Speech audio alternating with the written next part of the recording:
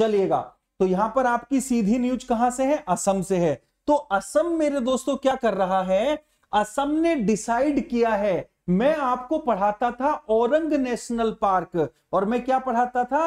Rajiv Gandhi Orang national park. तो यहाँ पे उन्होंने क्या किया है कि भैया औरंग नेशनल पार्क से राजीव गांधी के नाम को रिमूव करने की बात कही है। मतलब ये जो राजीव गांधी हैं, जो हमारे six prime minister of India थे तो उन्होंने क्या कहा है? असम के मुख्यमंत्री ने, असम के मुख्यमंत्री का नाम है हेमंत विश्वा। उन्होंने क्या काम किया है दोस्तों? हेमंत विश्वा ने, कि भैया जो हमारा औरंग वर्ड है, वो आदिवासियों के सेंटीमेंट से जुड़ा हुआ है। तो हम यहाँ से राजीव गांधी का जो नाम है वो रिमूव कर रहे हैं या उसके लिए उन्होंने प्रस्ताव दिया है तो राजीव गांधी जी का नाम रिमूव किया जाएगा औरंग नेशनल पार्क से। तो Rajiv Gandhi Orang national park should be क्या कहते हैं आप लोग का would be renamed as Orang national park. Only Orang national park याद करिएगा। दोस्तों, असम के अंदर कितने नेशनल पार्क हैं? सात नेशनल पार्क हैं। अभी हाल ही में राय मोना बना था और एक देहिंग पटकई बना था। कौन सा? राय मोना और देहिंग पटकई। चलिए, पहले हम इसको जानते हैं औरंग नेशनल पार्क को, उसके बाद हम इसको क्या करेंगे? बाकियों को आगे पढ़ेंगे।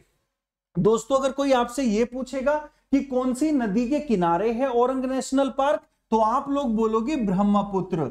तो अगर हम बात करेंगे तो औरंग नेशनल पार्क जो है, वो ब्रह्मपुत्र नदी के किनारे है और अपने नाम के कारण इकलौती, मेरे दोस्तों, मेल नदी बोला जाता है इसको। भैया, भारत की इकलौती मेल नदी के तौर पे, मेल रिवर के तौर पे जानी जाती है ब्रह्मपुत्र। और ब्रह्मपुत्र, मेरे दोस्तों, दो हमारे रिवर आइलैंड बनाती है। कौन से? दो रिवर आइलैंड बनाती है और दो रिवर आइलैंड मतलब आप लोगों के एक सबसे छोटा और सबसे बड़ा।